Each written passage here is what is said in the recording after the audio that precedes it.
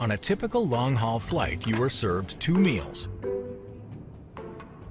which you wash down with your choice of beer, wine, or water. And that leads to over 1,000 flushes of the airplane toilets. So where does all that waste go? Old airline toilet systems relied on large quantities of blue sanitation fluid. Unfortunately, the systems often leaked, forming a frigid ball of blue ice and frozen feces. These days, the nasty stuff all stays on board. And it's all thanks to this design classic, the vacuum toilet. This system eliminates the need for large quantities of blue fluid and instead relies on strong suction and slick walls. The bowl is coated with non-stick Teflon, like your frying pan. When the flush button is pressed, a valve opens, sucking down the contents of the bowl.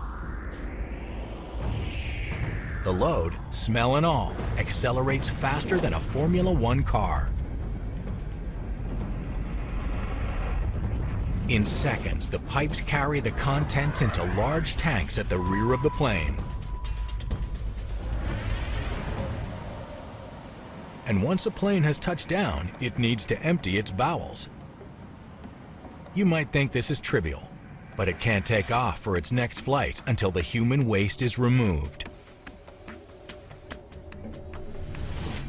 Enter the Honey Truck. A pretty name for a vehicle with a pretty filthy job. It's one of the first vehicles to reach the plane at the gate This Schroeder TSU-3 sewage truck has an 800-gallon stainless steel waste tank.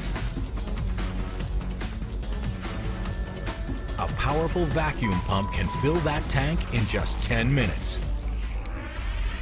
But the Honey truck still relies on its driver to connect it to the aircraft by hand. This is Lothar Mali. Today, he has to empty over 230 gallons of waste from a jumbo jet's two tanks.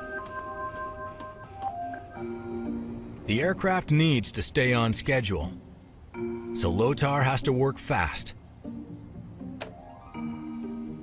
He carefully connects the waste pipe to the plane's release valve, making sure it's locked in place. When it's not locked, it goes like this. It goes, falls off, falls off, and then everything comes here on this, on the, on the floor. Having avoided an unpleasant shower, Lothar connects a flush pipe to clean out the plane's tanks with water and disinfectant.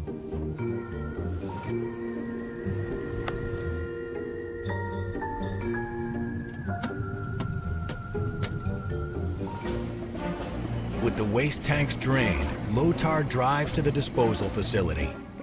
He parks over the sewer pipe, opens a valve, and lets gravity do the rest.